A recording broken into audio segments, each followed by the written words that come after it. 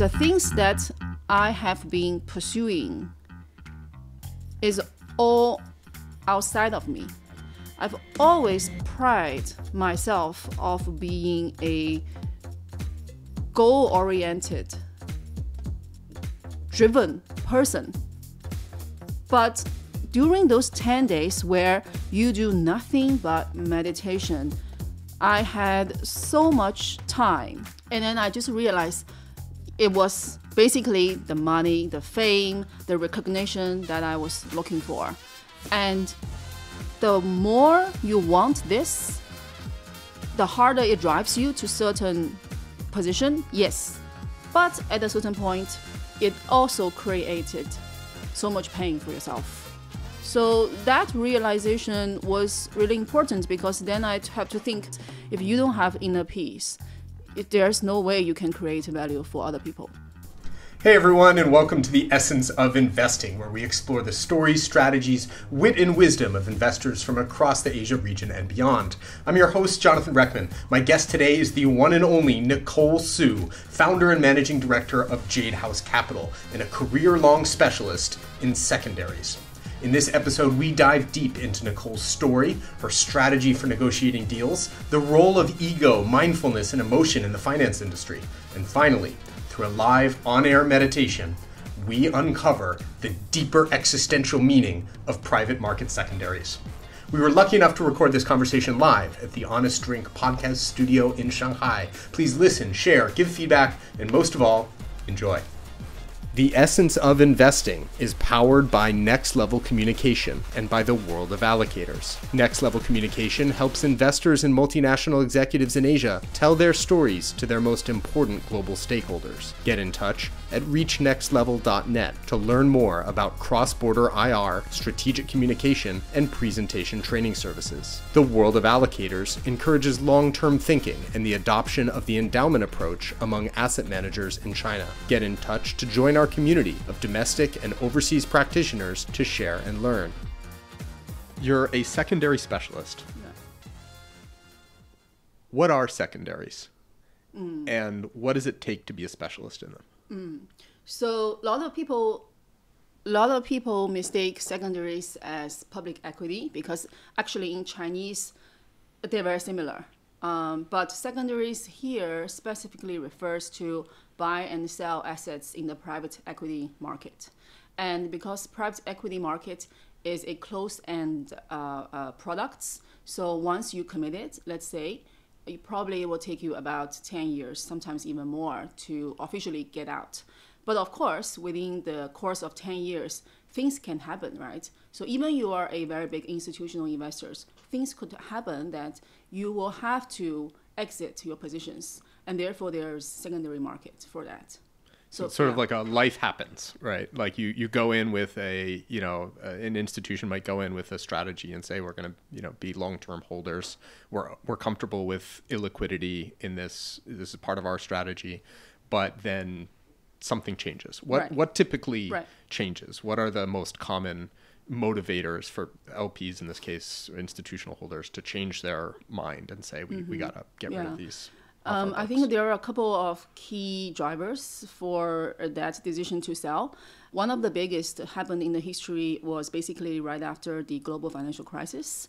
And after global financial crisis happened, basically U.S. pushed for the Volcker rule to take place, and that basically said all the banks have to significantly reduce their exposure to private equity and hedge funds. So these banks are actually very big players in private equity. So they not only they have their own private equity team, so in the so-called principal team, and they also invest a lot in the external managers, so in the funds. So now they have to sell billions and billions of portfolios, as well as their own uh, direct investment on their books. So that created a surge uh, in the secondary market. So of course, overall secondary market happened, I think, around uh, late 90s, early 2000s, but activities are quite ad hoc. Um, people start to build their portfolios and then start to buy uh, uh, portfolios. But I think it was the GFC that really pushed the secondary market to a new high. Yeah. And that was because a government fiat decreed that they need a higher level of liquidity. And so it, it forced them to let go of these illiquid assets and created or, or added fuel to the secondary market. Fast forward 10 or 15 years, uh, what is fueling the interest in secondaries today? The regulatory regulatory changes is one of the force in the history of the secondary market, and the other thing is once people have understand the secondary more and more, um, LPs, especially pension funds, endowments, those sophisticated LPs, are actually using secondary markets to rebalance their portfolios from time to time. Uh, for example, maybe in year one they invested a lot in emerging markets. Maybe in year three they said, "I'm gonna trim down in my exposure into emerging markets."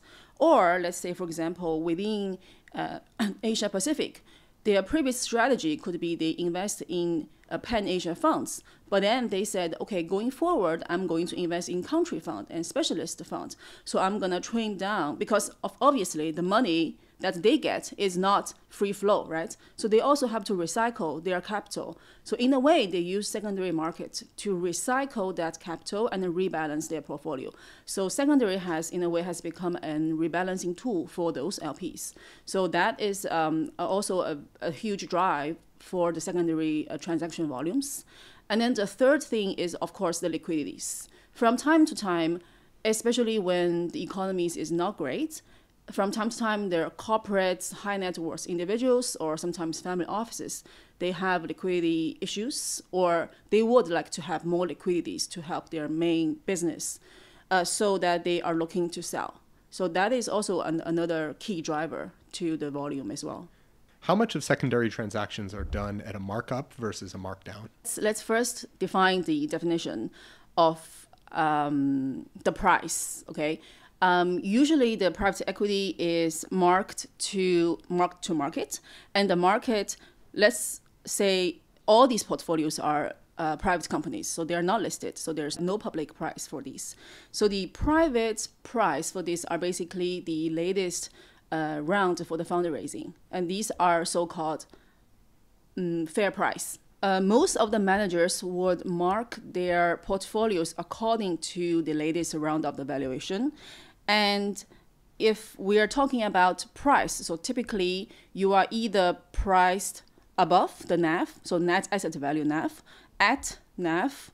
If it's above the NAV, then it's a premium, right? If it's at NAV, then it's at par. And then if it's below NAV, then it's discount. And in the past, I would say 20 years or so, most, most, most of the assets are priced at discount.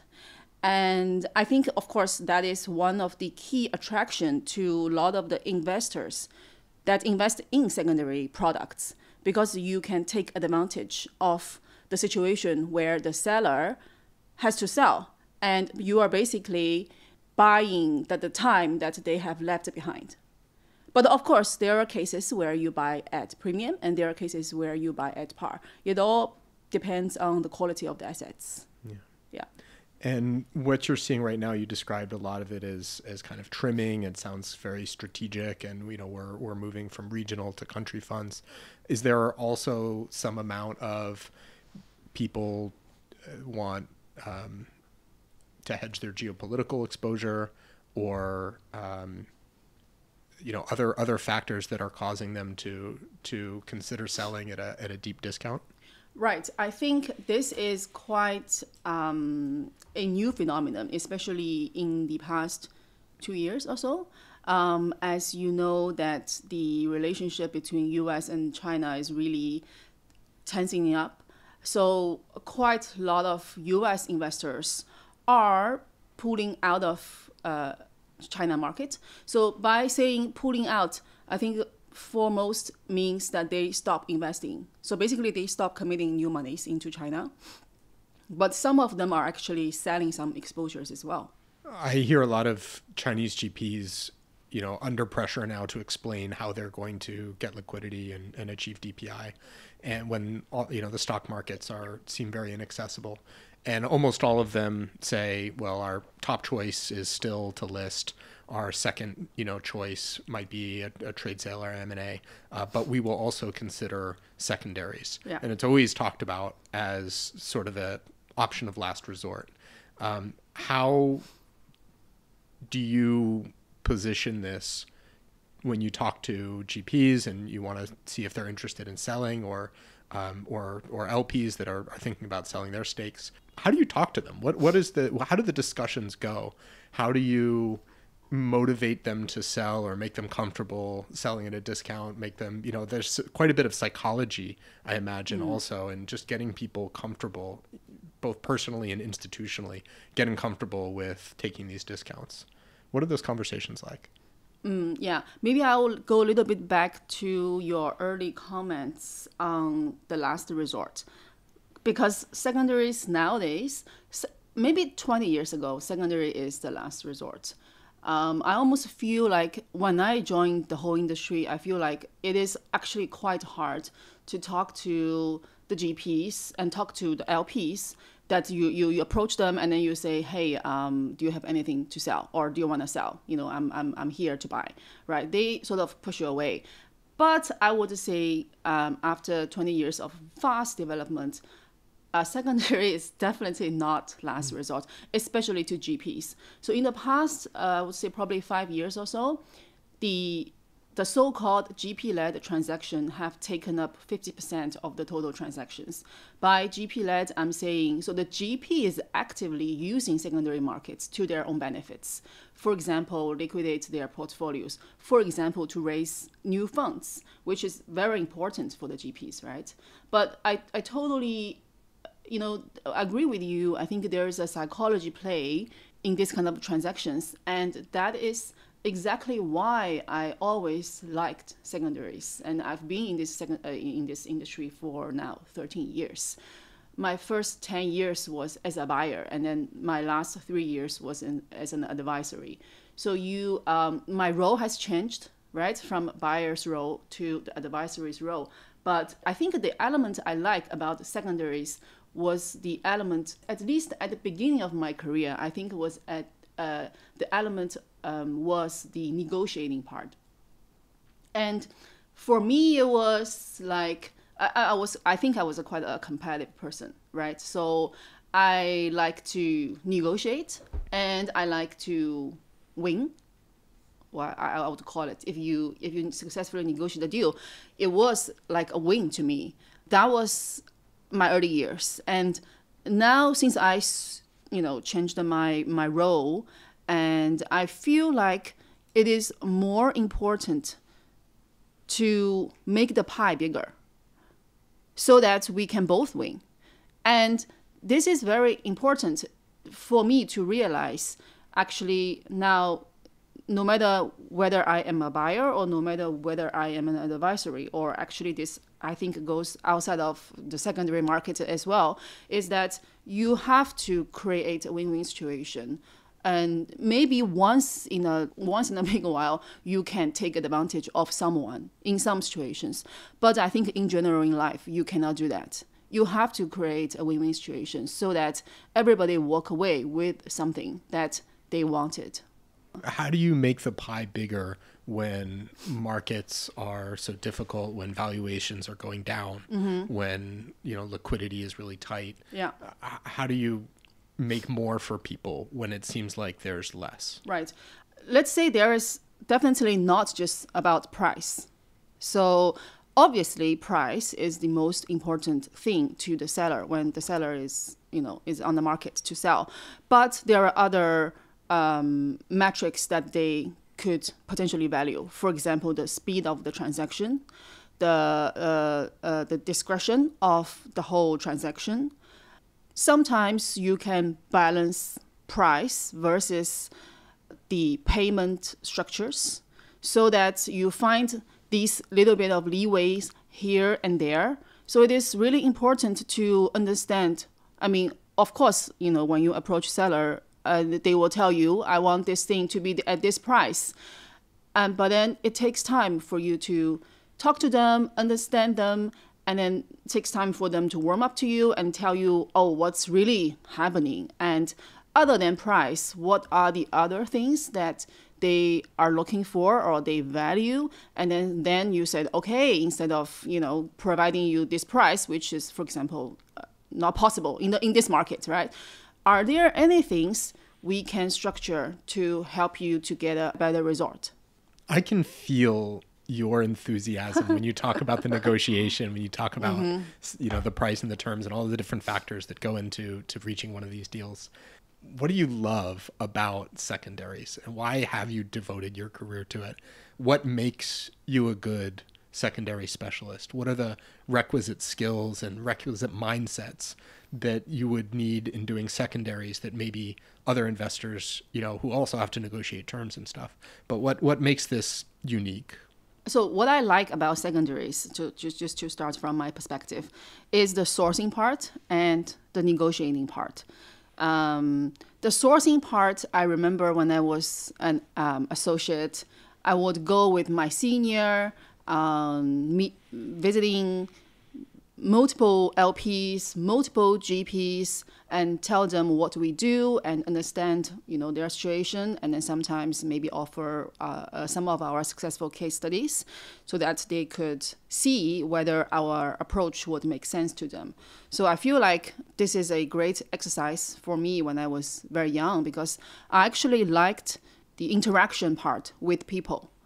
Um, I think being at a secondary firm uh, slash at a fund of funds firm when I was quite young, it was great experience for me to talk to people way senior than me. I, I think if you interview anybody from a fund of fund position, they will probably that tell you that this is probably one of the biggest benefits. So I liked that interaction part try to understand what people needs and how we can you know be their partner and then of course the negotiating part that i already mentioned before. I think the due diligence part is probably more or less the same as every other investors. But I think the key difference is so secondaries typically you buy a portfolio of many many companies. Sometimes we uh, would price a deal and the deal would have a portfolio of like 50 companies 100 companies and then basically you are doing modelings uh, like day and night maybe 10 companies a day. So th- this is, uh, so before I joined a secondary fund, I was working at a consulting firm. And uh, we would take, it would take us three months to look at one company, very detailed, right? And now when I switch job from that consulting firm to the secondary fund, all of a sudden I'm looking at 30 companies in one week, figurative speaking. And that change of mindset is huge but it's very interesting because it's not just how you actually do due diligence, and you still make sure that even you spend, I don't know, a half day on a company, you could still more or less reach to a reasonable conclusion. So other than that, I think the key point is you need to have a portfolio view. So when I was uh, looking at a company for three months, you look at so many details and you can imagine yourself buried into the deep ground. Whereas I remember when I joined the secondary fund, not long after I joined, my uh, my boss told me sometimes you need to step back and then look at things at a more higher level. And that actually I think about that all the time because it is important for you uh, not only at modeling a portfolio, but also especially when when I'm more at a management role later on during my career, and, and now especially as a, as a co-founder of a business, I think that perspective was really uh, empowering, and then that's, that's why I still think of that. So so so that change of mindset was really interesting uh, from a secondary perspective. That's probably quite unique. How do you zoom out and get that macro perspective? What kind of whether from a technical professional perspective or from like a personal practice how do you look at things in a bigger picture? This is an interesting question because because in my mind i'm just thinking that i will step back right? Um, I, I think it's just looking at the picture at a far away perspective. So it is like um, let me let me first say on a technical level, when you do due diligence on the portfolio, of course you still look at you know market trend, look at top line growth, look at margins, look at exit multiples that you could apply. But then if you step back and then look at portfolio level, you then you can see how correlated are these underlying companies? Are they in the same industry? Are they in the same country? Are they more or less impacted by similar regulatory changes? And you came out to that level, that was already a step back. And then I think also important for the fund managers is this portfolio, how correlated is this portfolio with your other portfolios that you've already invested? Does it make sense to add more or does it make sense to not add more? with this kind of stuff or if you want to add more at what price right so that's a, a technical perspective to to answer your question um, but also i think more you know from a life perspective I, it reminds me of how we do meditation when you do meditation, you basically let yourself, let your mind sit far away from everything else that happens in your mind, right? And then and then you say, okay, this thought happened. Let it be. And then and then this thought just, you know, slipped away, right? And then you'll be like, ah, okay. So you don't have to be so involved. You don't have to be so uh, you know, so engrossed into details sometimes. So that's also quite magic because mm. you do need to focus on details from time to time. And to be honest, I actually think detail oriented is a, such a merit for, for, for people in our industry. But on the other hand, you just have to you know step out and then think on a bigger picture. Yeah, this, I mean, this is the core metaphor that I think drives so much of my my interest in this podcast is that finance is one of the best metaphors for transcendental existentialism in its focus on taking really micro little bits, right? If, if we were to just like build from the very bottom up, it's customers engaging in transactions which cre- you know bundles together to create cash flows, which bundles together to create a portfolio of cash flows, which then you combine with other portfolios, and you have a, you know a portfolio of portfolios, and you know thus a fund, and then a fund of funds, and and you can just keep going out, yeah. and at each level is there's so much to explore. It's sort of like a, a fractal. You can you can open up the box at any of these dimensions, and there are endless things to do due diligence on or to research or examine and to question at any of these levels. And just like in life, you know, we could look at the texture of this table, or we could look at the form of the table, or we could look at the position of the table in this room, or we could look at this room in this neighborhood, or we could look at the neighborhood and position of the city or the city and the earth, and then all the way out to the cosmos. And the ability to transcend between these different levels and dimensions intellectually in finance or existentially as human beings is just the coolest skill. So when you talk about meditation and you know your relationship with a thought, you know we could think of a thought as a unit similar to you know a cash flow or something, and then you can kind of like zoom in closer to that thought yeah. and really get into the you know to to the to the nuts and bolts of the thought, or you can step way back from the thought and just just hold it or let it go. It's a beautiful thing. You meditate? I do. Yeah. And and the more I do, the more more depth on the micro and the macro you find. Yeah. And I I'm always looking for these parallels mm. where what our spiritual or you know meditative practice how does that connect to our business or finance practice? Mm. and what have you learned from your career in secondaries that teaches you something about meditation or about being? And maybe vice versa you know if you meditate or you have some spiritual practice what does that teach you about investing? Yeah i want to I want to share how I got into meditation.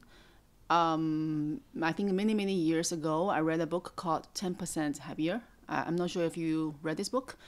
This book was written by a CBC anchor. Had went to Pakistan and had you know PTSD after he came back to the U.S. Anyways, I I, won't give too much details on the book because um, I would recommend everybody to read it. Um, in this book, he mentioned vipassana. He went to vipassana, and then the ten percent happier happened basically. Um, I was quite fascinated by the idea of vipassana.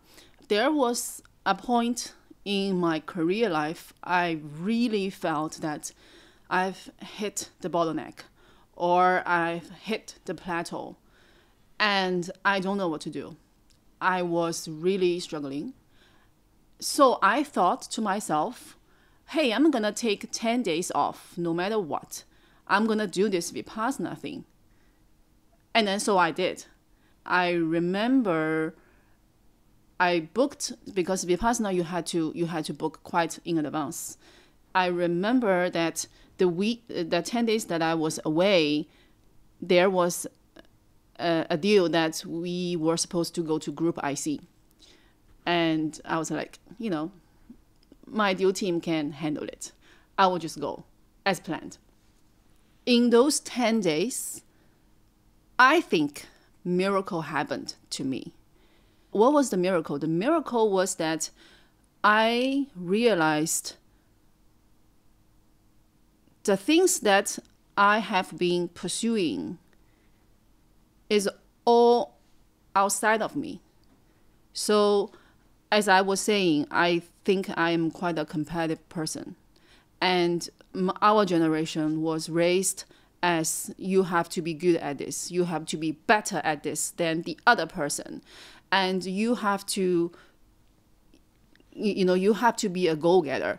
And then I've always you know before before the the realization right i've always pride myself of being a goal oriented driven person but during those 10 days where you do nothing but meditation i had so much time and then i just realized it was basically the money, the fame, the recognition that I was looking for.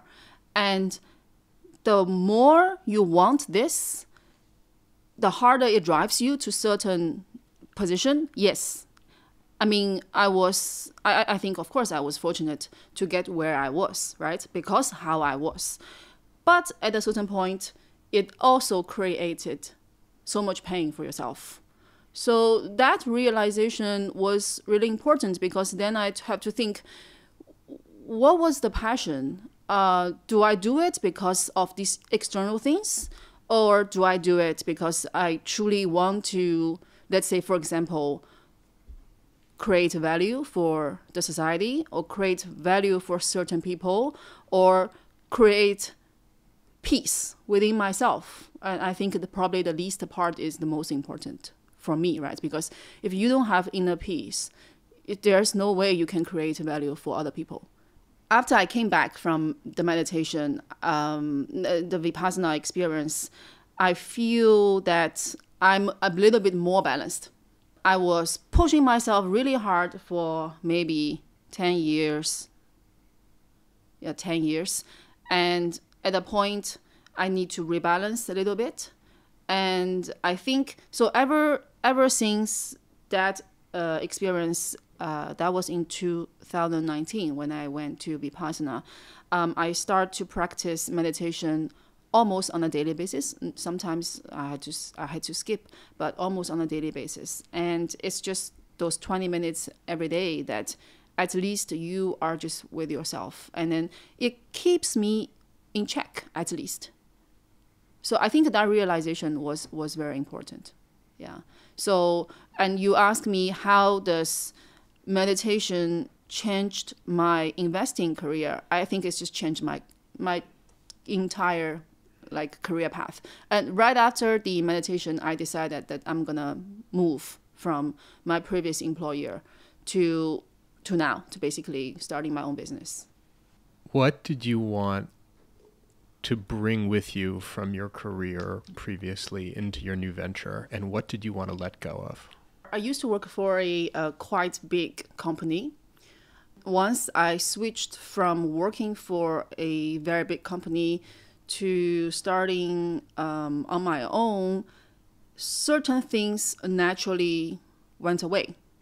Not necessarily that I let go, but certain thing, things like reporting, like certain processes, like bu- bureaucracy, uh, that definitely went away. And I truly uh, enjoying that sort of transition. Also, I think what also went away was the the quote unquote aura because you used to work for a big company.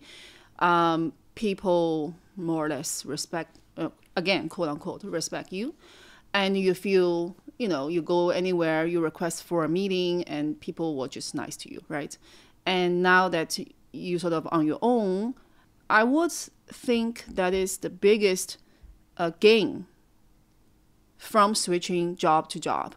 Is because again those those aura are not yours. They are they belongs to that brand that platform. And right now we do everything on ourselves. And every achievement was truly a reflection of our capabilities to help our clients of course sometimes it's difficult especially the market is, is tough. But still little by little bit by bit uh, we're doing things we're moving forward. And that's really what i'm really proud of. And i i i mean i encourage all my friends around me who had the impulse to do business on their own. I encourage them to do it. But of course the market now is, is tough for everybody to to start a business now. But i think because doing things on your own or uh, uh, starting a business on your own it's a such change in your mindset. And then it's a such change to you as a person. And and that lesson is very valuable. Even the business let's say even the business fails one day doesn't matter. Because you you are changed as a person I'm, I'm, I'm sure you also have same reflection because you are also a business owner Yeah, I mean, Yeah. the only difference is I've never had a job, so I, I don't know what the aura of having a, a big institutional credibility. I've been Yeah. kind of hacking it on my Yeah. own my entire career, um, but I, I definitely know that that sense of of having to find your own path and in the process finding parts of yourself. What do you want to experience that you haven't yet experienced on this journey? So when I left uh, my secondary fund company, so my, my boss was quite angry with me in a way. Uh, so we didn't talk for, I think, seven or eight years. And I went back to the Netherlands uh, last year to visit him. He said, Oh, I always knew you're going to start your own business. But then he asked me, he said, When are you going to start your own fund? So it's weird because sometimes people say something and then it's, it's kind of like planted a seed in you, right? So obviously, I've been on the buy side for 10 years and now I'm doing my own business, but it's not a fund business. And I still feel that it could be something that I would really want to do. And again, doing a fund business is not just investing. Doing a fund business is also starting a business, and then you have to take care of your LPs and you have to take care of your relationships and your underlying companies and that kind of stuff, right? Um, that could be my career. So I, I think that could be the, the, the next or the last thing that I want to do in my investment career. And for my personal life, you know, I started studying psychology a couple of years ago, and I would really like to be a counselor, and I would really like to be able to help people um, on that front. And the good thing about investor and psychological counselor is the older you are, the better, hopefully, the better you are. So I'm quite looking forward to that. Yeah, I think maybe we can meditate for one minute. I love it. That's a great idea. That's spectacular. Anything come to mind? I just had a nice thought that secondaries are really about letting go. Oh, interesting. How so? Explain. It's sort of the finance of detachment. It's the idea that we carry things with us in our Oh. portfolios that maybe aren't serving us the way we want them to. And they're valuable, but we let them go. Mm-hmm. And sometimes it's hard. Sometimes we pay a Mm. price for it. Mm. Or the things aren't what we thought they would be. Yeah. but we let them go. And in doing so, maybe we actually create value for others. We find those things aren't worthless. They're not, you know, it's it's not parts of ourselves or parts of what we have that we want to destroy. It's just maybe they belong somewhere else. That is very artistic view of secondary market. Wow. well, you're the specialist, Oh, so I, maybe I just way. made it up. I, I think a, a theme that's come up in some of the previous interviews we've done is what are the real trade-offs and what are false trade-offs? You know, some sometimes it seems like you know we have to choose between A and B, and that could be in you know the opportunity cost of, of deploying capital. It could be in our politics and geopolitics of you know which which system are you with. And then there are times when those seem like false choices, when there is a third way, when you know a for example a new technology can can break the false choice between quality and efficiency or you know quality and cost and, and we can actually have them both hmm. if we innovate our way there hmm. And maybe the same is true with with our politics. You know maybe we we don't have to be either or. We can we can have the best of both worlds if we just get it together and you know think think of a new way forward that we weren't considered. It's kind of a creative act. Hmm. What does creativity and innovation look like in your sector? I, I, I- I think uh, we touched upon this um, earlier. For example, how GPs would use secondary market is quite in an innovative way. And how the transaction is not just about the price, but is also about payment terms, also about perhaps, you know, if you can uh, you can structure some kind of upside sharing, right? That also is quite an innovative way.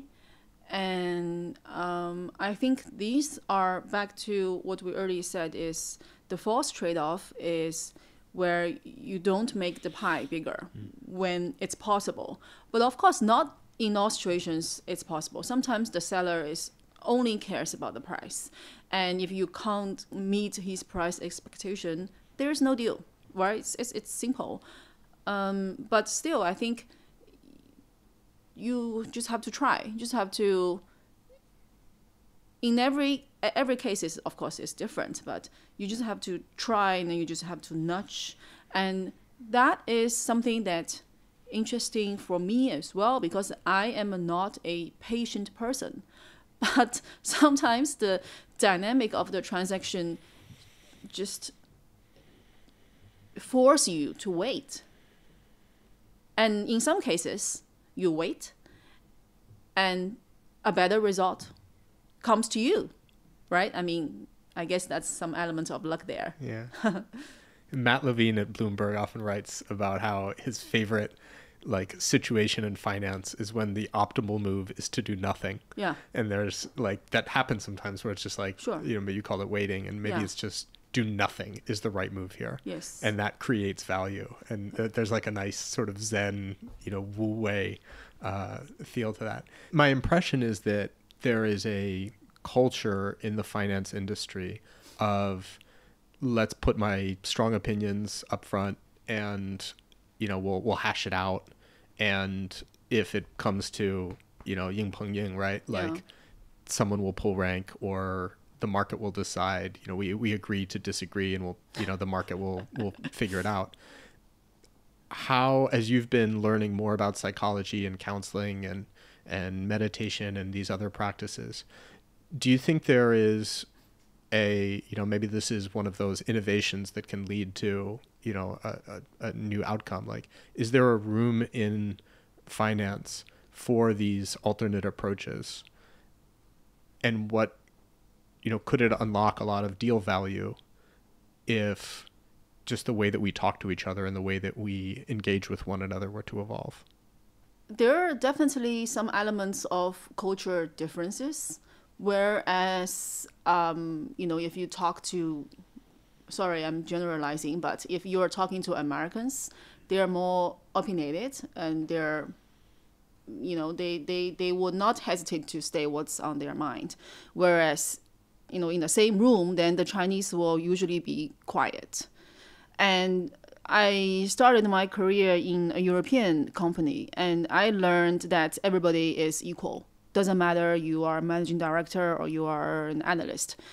Everybody as long as you are on the same table you have the right to speak up. I think the culture difference is hard to mitigate unless you are aware of it and then you are um, purposely uh, correcting your behavior, so to speak. Uh, but but I think deeper down is everybody should learn how to listen. I think Ted once said in his podcast about this point, and I, I think you as a communication coach, you probably know this better than any anybody else. Is your position going in is to listen and then talk rather than talk and then not listen. And, and then if everybody sort of have that mindset, I think the, the conversation will go much smoother for everybody. You know, there's a there's a first mover advantage, right? In in setting the tone and setting the narrative and pegging the price. Right in terms of price, that's the anchor effect, right? That's uh, everybody use it in a daily negotiation. Do you want to be the first person to anchor the price, or do you want to let the other person open the open the bid? yeah, so right. So, so this is more more from a technical perspective. Um, usually, I would do that. Um, usually, I would give a price first, or I would provide term sheet um, proactively, so that um, from a you know pure negotiation technical perspective, I have a, higher advantage point. Um, but again, I think once you go into the details of the negotiation, the important things to do is still bear in mind that try to create values for both parties and try to make the pie bigger if that's possible and I do, um, you know, value highly what uh, I think I think Li, Li Ka-shing said is you always leave the money on the table. So don't be that person that takes all the money, all the benefits, all the profits away from your components because then you can only be one-time components. You can never be partners. And in our business, which is a very long term in nature, you want to have more partners than just one time opponents, right? Anything you want to recommend to our listeners um, for finding inner peace in a finance career? I would recommend a book I just finished called Wiser, Richer, Happier it's about uh, interviewing 40 top investors. Most of these investors are public equity investors. Yeah, I'd love to read that. That sounds yeah. really cool. Later, so I want to give a shout out to yeah. uh, Morgan Housel's new book, um, uh-huh. Same as Ever, uh, about what changes and what remains the same mm. in human nature and in markets. I've, I've just started it and really enjoying it. Okay. Is it about, is it a, a, in general economic book? Yeah, so Morgan Housel is a, a VC investor at the oh. Collab Fund. It's uh, he was the author of The Psychology of Money, uh, which oh, was really good. okay, and okay. So this is his new book. It's right. it's just published recently. I've been really yeah. enjoying it. Finally, any meditation practice for uh, for staying cool in the middle of a deal when things are really hot, um, outside of you know our daily, you know our, our daily practice what can you do in a negotiation in a high pressure situation to regain balance and control or find inner peace while it's all going on around you mm. the simplest thing to do is to take three deep breaths during, you know, if you find yourself very angry or if you find yourself very frustrated or anything, just take deep breath. Yeah. Yeah, that's I think that's the e- easiest thing to do. Yeah. Right. Yeah.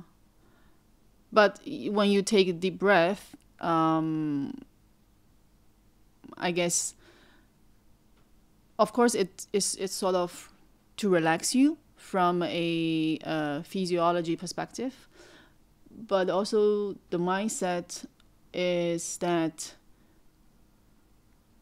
don't do anything on a on an impulse. Yeah, I I think I am much better on that front nowadays. Now that I'm, uh, you know, older, uh, hopefully also wiser. Of controlling impulses. Yeah, correct. Yeah. You have any stories you can share on that? When I was quite frustrated or um, upset with with with my my bottleneck or my plateau in my career path, I at a certain point of time I feel like I'm always angry. I was always angry and so when I realized I was losing my temper very easily, I actually looked for books that teaches you how to control your anger. For a while, at least at a superficial level, that worked. And then I went to the vipassana and then the meditation, and then I think it was a more a deeper level to understand where this anger came from.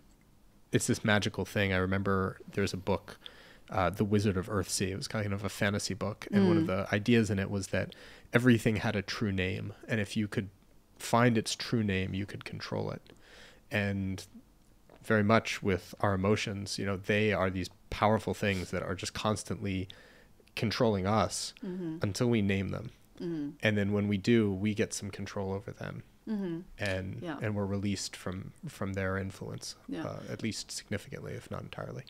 This is actually really good exercise because um, when people are quite new to meditation, um, they can't even name those feelings. So there are you know there are always feelings within you, but people not necessarily able to name this specific feeling or emotion. And if they can't do that, then they don't know what's happening to them. And then the next thing they do cannot solve that problem. Yeah, so that's actually a good exercise to start with. Yeah, I think financial literacy and emotional literacy should be integrated, more integrated as curricula.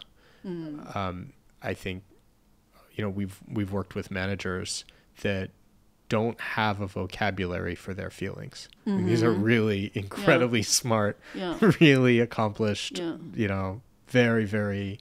Yeah. So actually, uh, this is something that I also want to touch upon is uh, being rational and being emotional. Uh, but I want to check with you first. Is emotional a negative word?